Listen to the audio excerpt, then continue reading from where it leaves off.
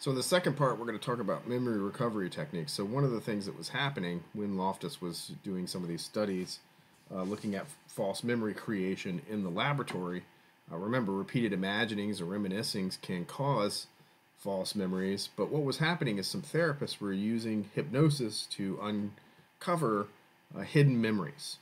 Uh, and so we're going to talk a little bit about this, like what do they what do they do? In fact, um, remember um,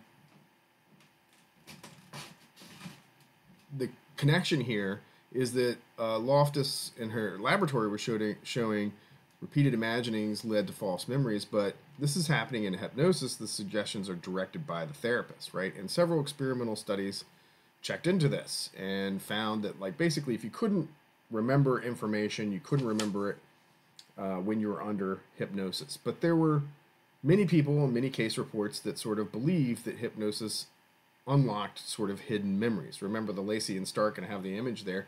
The Lacy and Stark uh, paper showing that the public mostly agreed that it could hypnosis can uncover uh, memories. So the question remains, like, what does hypnosis do to memory? And to in order to investigate this, Sheehan and Tilden, what they did is they had subjects watch a 24 slide sequence depicting someone getting their wallet stolen. Half were hypnotized and then questioned about their the event, and of course the other half were not. And so they were able to do this, look at it in a controlled situation. So here's their data. They first looked at accuracy, and slide will clear up here.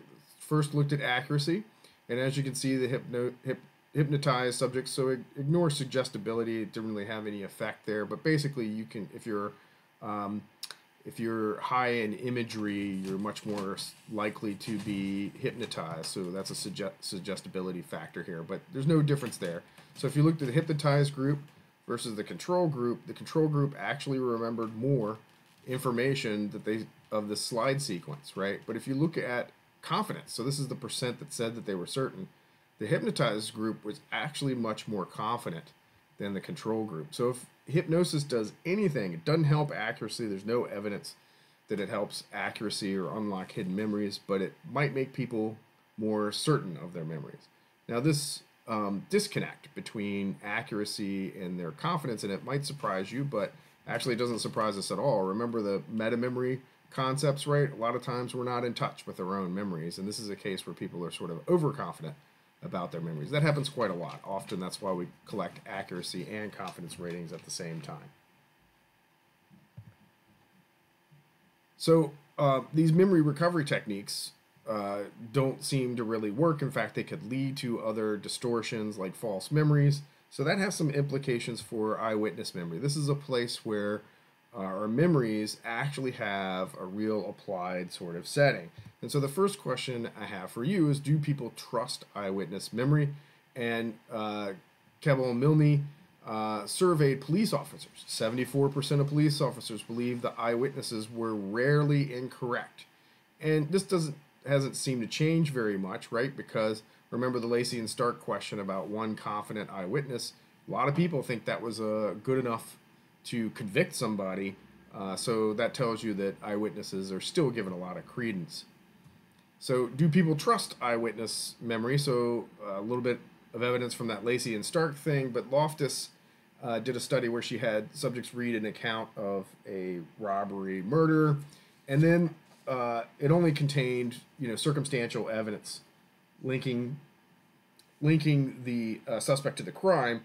So, when you had no eyewitness. Uh, so there was no eyewitness in the narrative. People were only willing to convict at 18%. So that shows you the evidence is really pretty weak. When you add an eyewitness, that jumps up to 72%. Now, the important thing is they also were given information that the eyewitness had really poor eyesight. But you can see that that didn't really temper their uh, reliance on this eyewitness information at all. It only went down just a very little bit. So people use this information or they rely or or believe that there's a credibility to this to eyewitnesses information. So uh, another question that's sort of related to this uh, loftus and palmer did a study where they uh, had subjects watch a video of a car accident and then they changed the way in which they asked questions about the car accident. So uh, they were simply asked how fast was the car going when it blanked into the other car, and they were so they were estimating speed of the cars in this videotape. So when they used the word contacted, they were estimated 31% and so on. And you can see that as the verb gets a little more violent, the speed estimates go up, right? So what this tells you is just the phrasing of the question can alter people's, in this case, estimates of speed or memory about the accident. So the question itself can can do that. Now, the other thing that was really interested about this particular study is they brought people back like one week later and they asked them, "Did you see broken glass?" Now, as you might imagine, broken glass fits with your schema for a car accident.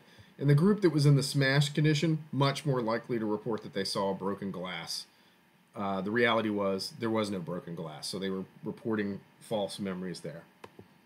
In another study that she did, which is called the Red Datsun study, she had people watch sort of a slide sequence of a car accident. Half of the Participants saw a stop sign, half saw a yield sign, and then later they were asked did the another car pass the red Datsun at the stop or yield sign, and they were able to either match it or mismatch it depending on what condition they were in. And of course, they did that with half uh, half of the groups. And um, of course, what they did later is 20 minutes later they were asked to pick the correct slide.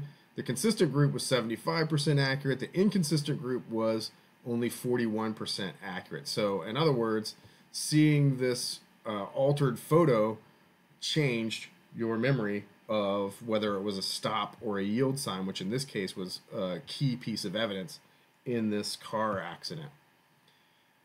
Uh, Loftus also had a study where she sort of asked, looked at the way the question was framed, right? So people were asked, Do you occasionally have headaches? They only estimated uh, less than one per week. Do you frequently have headaches?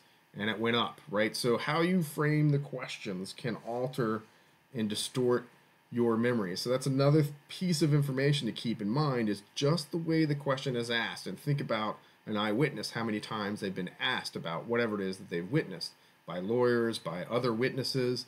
Each time this can sort of distort or alter your uh, interpretations of it. Also, if you're headed to a medical career, it sort of gives you an idea of how you should be asking neutral kinds of questions and not loading the question to get a response that you want. So this all of this information, while it's really important and uh, shocking, it also plays a role in children. What about children's eyewitness memory? So we're going to pick this up in the next part. We'll talk about uh, how question, questions in children's memory is affected.